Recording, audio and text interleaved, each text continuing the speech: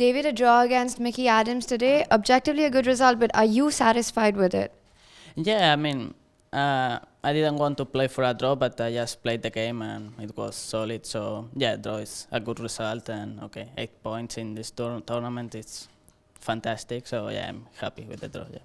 Right, and you had the white pieces today. Did you feel the opening went according to plan? Did you get uh, any advantage today at all?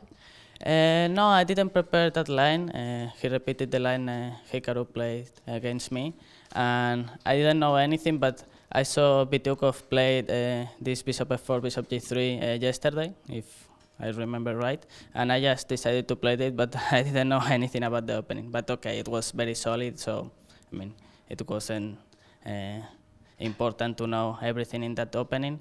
And then uh, got a bit better position, but okay, mm, nothing special, and okay, finally draw. Right now, it's probably going to be tie breaks for you. How do you feel going into the tie breaks?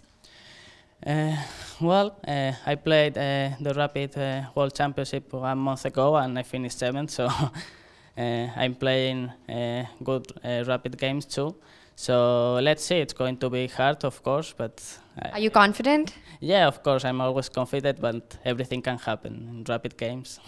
Right, but overall till now you've had a fantastic tournament. So no matter what happens in the rapid, are you are you happy with the way things have gone? Yeah, of course, I mean, even if I lose the tiebreak, I will be happy, but of course, I want to win, and I'm uh, I will try to win. Yeah. Right, you've shown some thrilling chess uh, throughout the festival, and we can't wait for the tie breaks. Good luck for them. Thank you.